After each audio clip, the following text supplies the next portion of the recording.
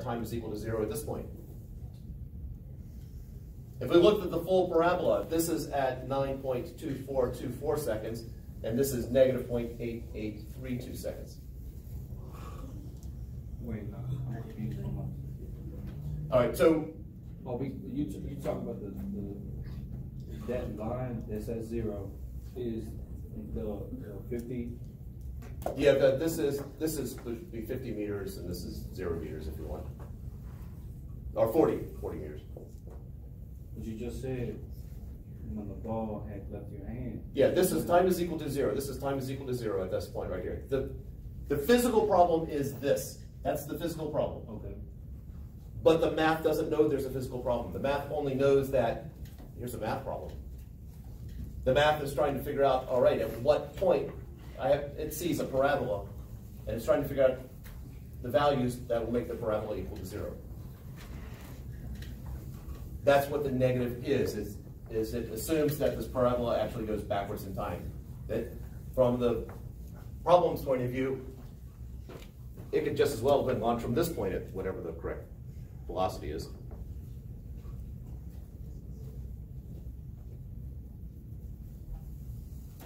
In terms of actually solving their problem, this is the one right here that we need. So let's put in for absolutely stunning usual visual effects.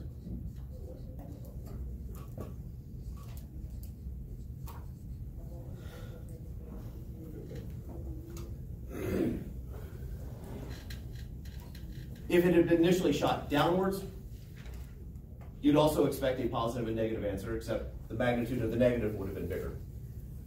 Because if you shot it initially downwards, it's going like this, but again, the math thinks that there's this whole other piece of it that doesn't, doesn't exist physically. Now we know the time, we can solve for this. What equation do we need in order to solve for the horizontal displacement?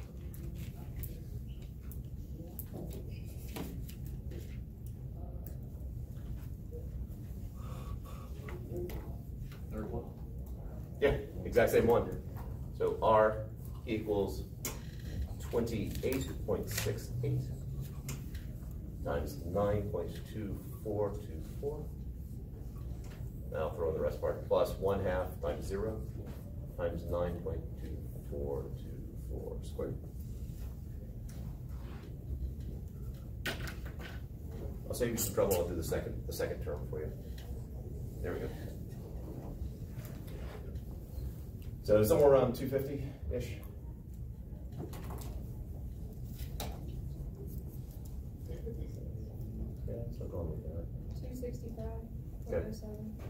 265.07 265.07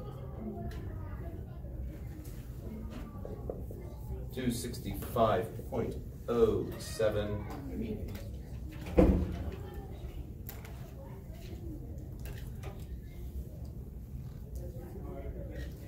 now correctly, and we'll do a lab at some point on projectile motion where we'll, we'll be launching it and it comes out pretty darn accurately. Absolutely.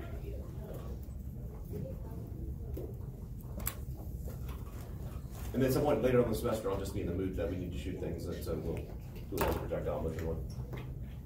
This is just a, I guess, a random question. Would this be like, would this be the projected uh, amount of meters it would go if we were in a vacuum since that we're ignoring air resistance? Yes. Okay. Air resistance would slow it down, uh, so, let's see, air resistance would, it would be more like that with air resistance. It's not a parabola anymore, it's Yeah. parabola-esque. We still use the quadratic equation or formula? Sorry. No. No. No, because acceleration is not constant, uh, so we can't use any of those equations. So, as it falls, the air resistance would increase because its speed, it's, it's, As the speed increases, the air resistance increases. yeah, I think so as it's falling, the speed's probably gonna increase from what it was before. So would it, the air resistance increase as it's falling down, bringing it even further towards the wall as compared to the vacuum. yeah, I, the, the black line is my speculation, it would bring it in. Okay. And then you start getting into other things, because there's actually, when you get into it, air resistance has three different, can be broken up into three different type factors. And so, you know, if I did a paper airplane versus a paper ball, it's possible for the paper airplane to go farther. Yeah. So, we, we're, it gets way complicated way fast. And depending on where you're at, versus if you're at sea level versus the Rockies, would the air resistance be different? Air resistance would be different, and if you, depends on how many significant figures, this number will start to change also at some point. Yeah. All right, Daniel? Uh, just one thought that simulation, I guess, what I do, I actually predict where, like, you know, a cannon shooting at a, like a cannonball will actually go using that? Uh, you can, the, the, yeah, Joseph wants to say in a vacuum. Yeah, in a vacuum. Um, Kind of like simulation. In, in terms of what we, in terms of the classroom, when we do our projectile motion experiment, it's not gonna be traveling so fast where resistance makes a huge difference. And so, in, we can shoot a ball across the room and have pretty, within ten percent, know where it's gonna hit. In terms of the cannonballs, now we start getting into, air resistance becomes more of a factor, and Or simulate on a computer. a simulator, and then there's programs which actually take, take air resistance into account. Uh, I, the CBCC had a computer lab for conceptual physics class where they took air resistance into account. So I know there's a website out there where you can do that. I just can't remember what the website is. I suspect it's simple enough to find. All right, let's take a break, come back. We'll do another one of these problems, but harder. Just so, so you get a look at the simplest projectile motion versus the hardest projectile motion problem. Would a bullet be highly affected by air resistance just because it's traveling so fast Right. and so? I, I would have thought so, but do you want to watch Mythbusters? Yeah. Did you see the one where they did the test on the bullet falling for being shot? Uh, oh yeah, in terms of if you kill someone? No. In terms of, they, they did the experiment where they shot a bullet straight, and they, as soon as it leaves the barrel, another one falls. And they want to see which one hits first. In a vacuum, they should hit at the exact same time, assuming they, that this one indeed started to fall when this one came out of the barrel. Gotcha. Um, and I was expecting air resistance would have a much more significant fact, play a much more significant and be very noticeable difference, but they were, they hit within a thousandth of a second or something like that. They were really close to each other. Wow. So air resistance did not have as big an effect on the bullet as I would have thought. And that's just because it's working the speed of sound and it's so small? I, I know, uh, because it was being shot with a rifle, and so the bullet was spinning, which reduced, I think, the overall drag. Oh, okay. Now, if they shot a musket ball, something that wasn't Gotcha. rifled, would that have had, I suspect that would have had, but again, I was surprised by this one. Huh. That and the elephant being scared by the mouse, those are the two that surprised me the most. Yeah, that's a, that's a weird thing. Yeah. Still not quite sure why. Maybe the mouse used to be much larger when, when the elephant was at a different stage of evolution or something. Maybe the mouse is related to the T-Rex. That's possible. I mean, the, um, the closest m- uh, cousin to the elephant is a creature that's about this big. Yeah, maybe just over time, it, it's still just in it genetically. It still seems strange. Yeah. Especially considering how intelligent they are, or a- able to learn simple things. An elephant is. Um, but they can also be tricked pretty easily. You've heard about how they like a put like thick heavy chains around like a tree trunk when the elephant's a kid, so it won't wander away. Ah. The Astros over, they put a stick with this like a piece of twig on twine on it, and they still think it'll hurt their legs if they try to get up, get away from it. It's, it's amazing that. Oh, sorry. I'm pretty sure you have. I know most. Tuesday, I think I talked to everyone, not, but.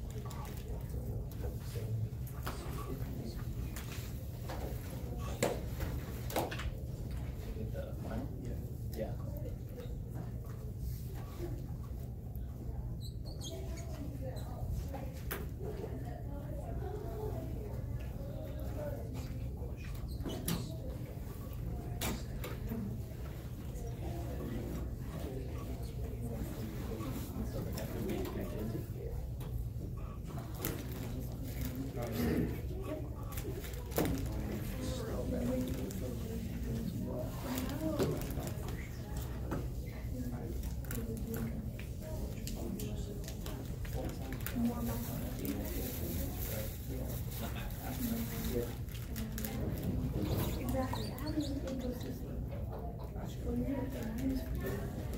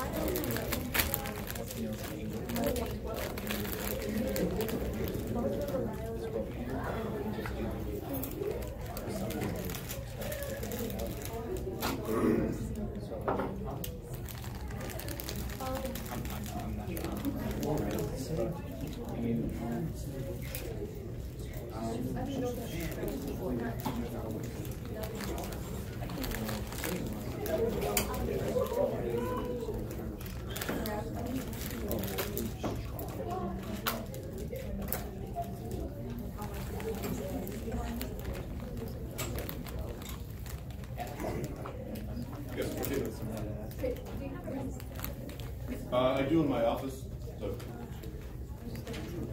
Thank you. Martina, you got a question? Oh, yes. Okay, I'll go. Oh, So where is December?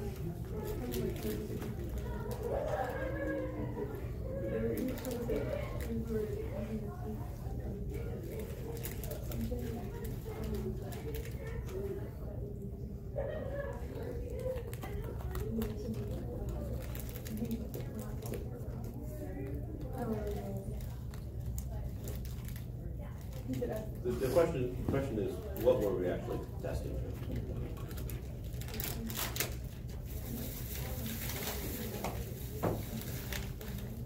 Right, but the question is, why are you using data? So, in, in the circumference versus diameter piece of the lab, and so did everybody. What were we actually testing?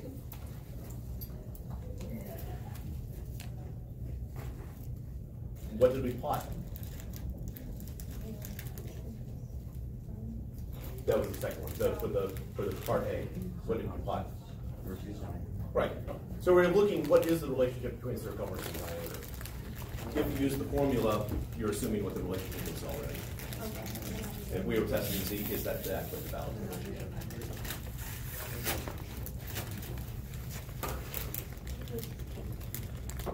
All right, so let's take a look at this problem.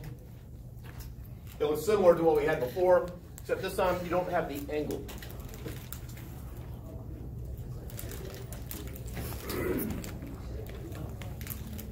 And again, uh, there was one particular test where I, I did this and not thinking through how hard it would be. And then there's another test where I did this where it was like one of four parts of a problem, and I didn't put it, but this is probably the hardest problem on the test, just so that I didn't want students to spend an hour trying to do it.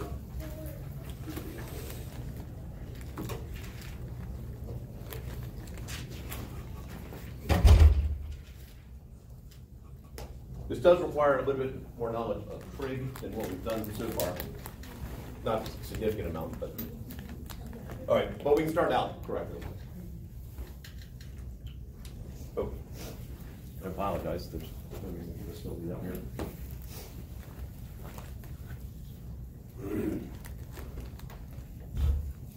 So we can move through the exact same process. What are the initial horizontal and vertical velocities? Horizontal is fifty meters. Sorry? Is, is, is vertical fifty? No, vertical is not fifty.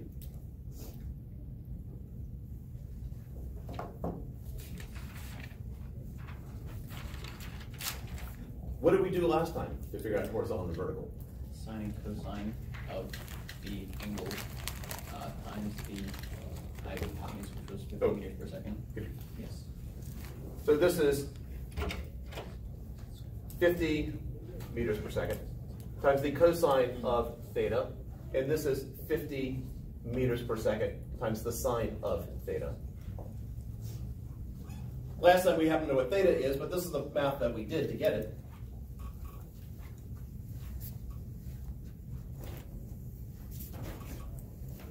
I don't know what the final velocity is, doesn't really matter.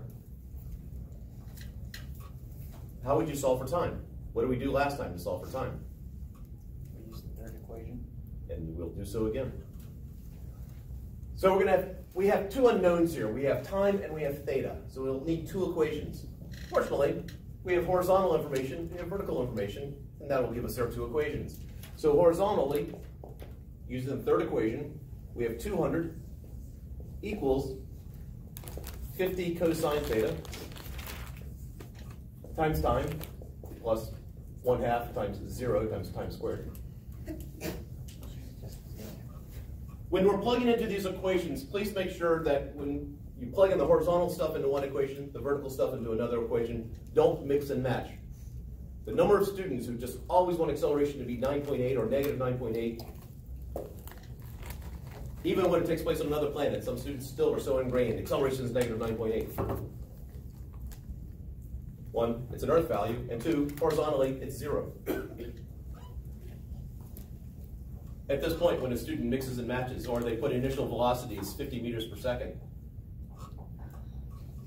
and then acceleration is 9.8 meters per second squared, that acceleration is vertical and that 50 meters per second is at an angle. They are not put into the same equation. And so I've gotten to the point where I give very little partial credit who does that. Vertical equation, we have negative 40 equals 50 sine of theta times time minus 4.9 t squared. Went ahead and skipped the step there. One half times negative 9.8 is negative 4.9. That's where that comes from.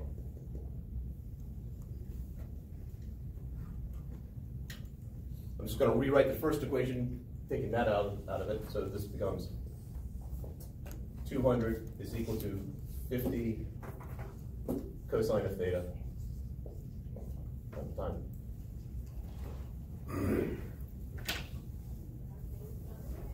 All right, two equations, two unknowns. How do you solve it? Equal, equal to each other? Uh, what am I setting equal to each other?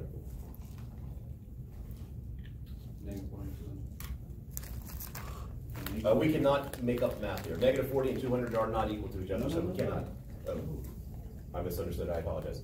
No, um, that row and that row, yes, What do you mean to set them equal to each other? um. So, is it, so they both read, They're both- No, no, this, this first one's horizontal. Second one's, this, this is the horizontal equation. This one right here is the vertical equation. Okay, now, doing a composite. Pardon? Is he talking about doing a composite function? I'm not sure. That's what I was trying to figure out. You have an idea? Equal to zero, yeah. Both equal to zero. Set them both equal to zero? Yeah. All right, then set them equal to each other? All right, I'm gonna, I'm gonna do that if I understood you correctly. Hold on. If I set them equal to zero, so I add 40 to both sides and subtract 200 from both sides.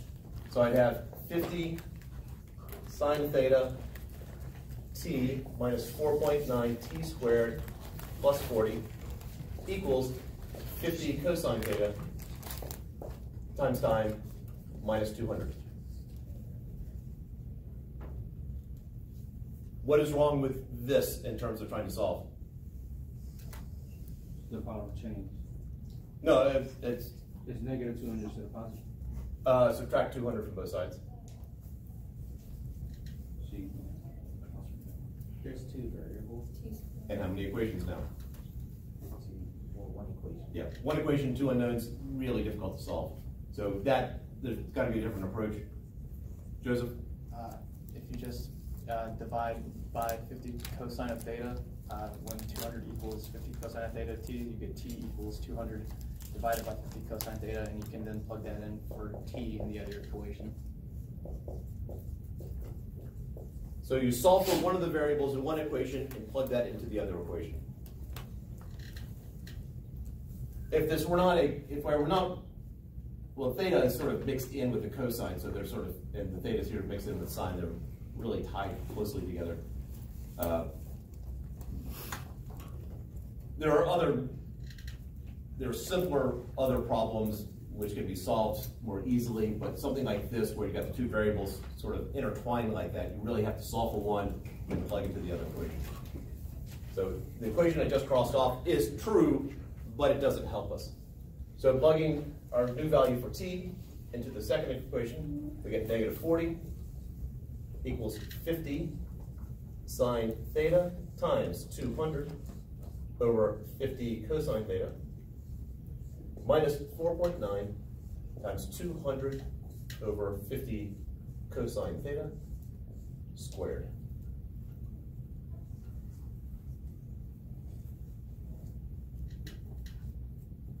Now we have one equation, one unknown. It is not necessarily a simple thing to solve, but we do have one equation, one unknown.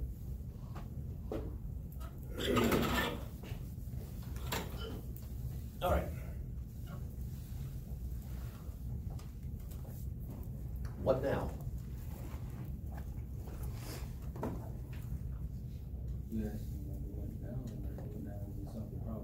What, what's the next step?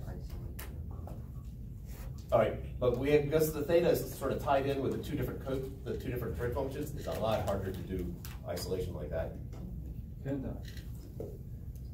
Uh, I mean, ultimately, yeah, but towards what end? Okay, but, um, all right, so let's, you do, uh, what's in parentheses, but there's nothing, we can't simplify that anymore. Squaring, we can square that. All right, so negative forty equals fifty sine theta times two hundred over fifty cosine theta minus four point nine times, that's be four oh oh oh oh over twenty-five hundred cosine squared theta. All right, so there's the exponent. Uh, can you cross cancel the fifty cosine theta with, uh, because you're multiplying them together, so it's over one, so can you cross cancel those two? So it would be two hundred over one and then one over one, and then that would just be two hundred? Uh, we can't get, we can get rid of the fifties. Okay. well, We can't get rid of the trig function. Okay, cool. Uh, so the multiplication piece, before we actually, we could just multiply it out, as sort of what I hear you suggesting. Uh, it is still helpful when multiplying fractions to simplify as best you can, so that fifty and that fifty cancel out. Uh, those two zeros and those two zeros cancel out. Pardon? why'd you do that? I'm trying to simplify it down so I don't have to deal with the zeros. That's, I have four, uh, forty thousand divided by twenty-five hundred. You multiply top and bottom by 0.01, and you get four hundred over twenty-five, in essence what I did. And that is equal to, uh, sixteen.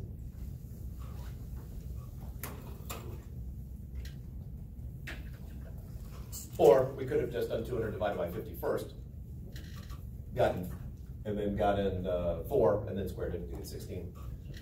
So we are down to negative forty is equal to two hundred sine of theta divided by cosine of theta minus four point nine times sixteen divided by cosine squared theta.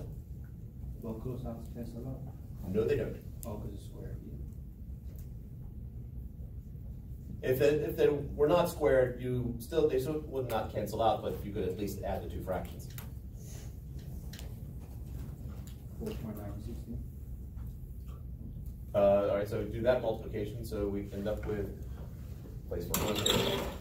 All right, so negative forty equals two hundred sine of theta over cosine of theta minus, uh, so four point nine times sixteen. Seventy-eight point four. Seventy-eight point four over cosine squared theta. Now what? Can you change the first part to two hundred tangent? Yep, yes you can. Sine divided by cosine is tangent. So negative 40 is equal to 200 times tangent of theta minus 78.4 over cosine squared theta. There's one technique of solving this in which doing that actually is crucial. There's another technique where you don't want to do that, so it depends on which way you go. Now we're sort of halfway in between both techniques, depending on which way you want to go next. Can you? Seventy-eight point four percent. Do that one? Uh, what would you do with it?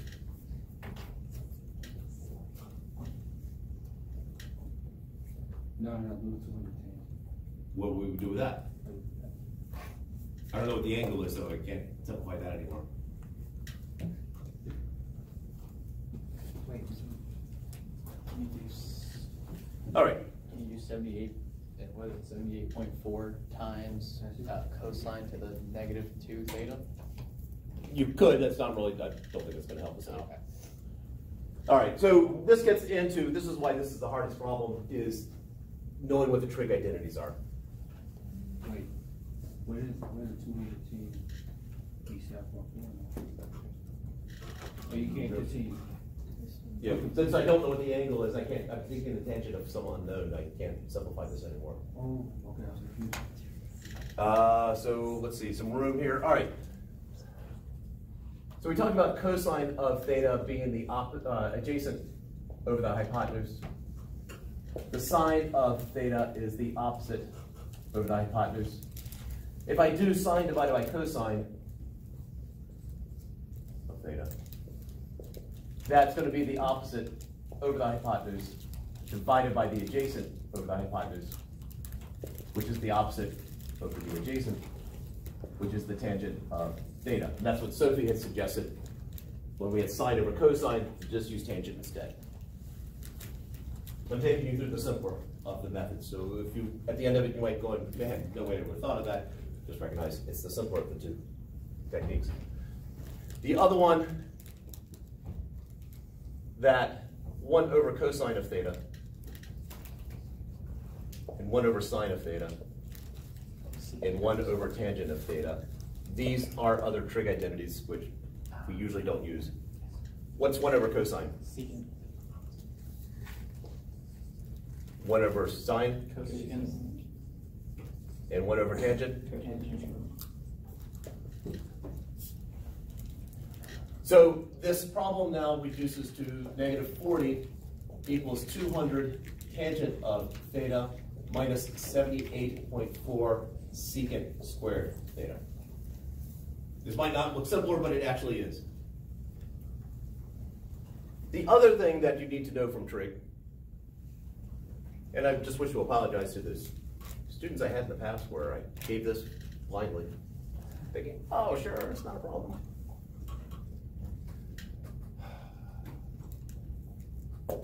Um, since we don't actually care about the time. All right. What is the basic trig identity? The one that relates sine and cosine together. Sine squared plus cosine squared equals one. That's it. So sine squared of some angle plus cosine squared of that angle is equal to 1. That is a basic trig identity.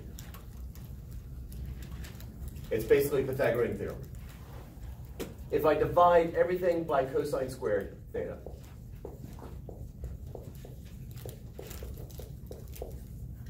over here I have sine over cosine, so that's tangent squared. plus one is equal to secant squared of theta. Therefore, I just got an identity here for secant squared. So I have, it's like I'll probably need some room, so let me start over here. So negative forty equals two hundred tangent of theta minus seventy-eight point four times tangent squared theta plus one. The secant squared theta is equal to that. Now, at this point, the more I write, the more likely I am to make a mistake. And so instead of writing out tan theta, I'm just gonna do a shortcut. We'll come back, we'll make the substitution back later, but I don't feel like writing all that stuff out, so I'm going to use the letter, what have I not, what have we not use very often? Q. Q. All right, so we'll do a Q is equal to tangent of theta. So I have negative forty is equal to two hundred Q minus seventy-eight point four Q squared minus seventy-eight point four. This is a quadratic equation. We can use the quadratic formula if we get it in the right format. This is now solvable. I know it's a quadratic equation because I have one variable here and it is squared. And, and for one of the terms. So getting everything over on that side over there, Brandon, Why was seventy-eight point four written twice? uh, distribute. So I get seventy-eight point four Q squared minus two hundred Q plus thirty-eight point four equals zero. The Quadratic formula. You will get two answers. We cannot ignore either of the answers. What are the two values for Q?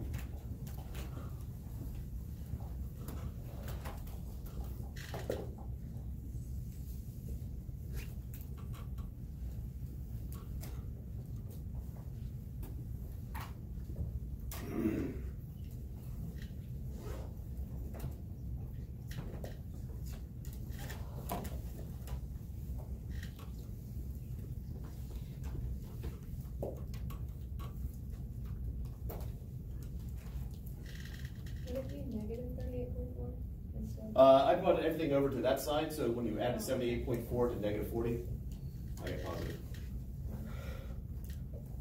But thank you for checking on that. Uh, minus signs are the bane of my existence, especially in one fifty-two, so, uh, you know, I will not be shocked if I drop a minus sign somewhere, actually, but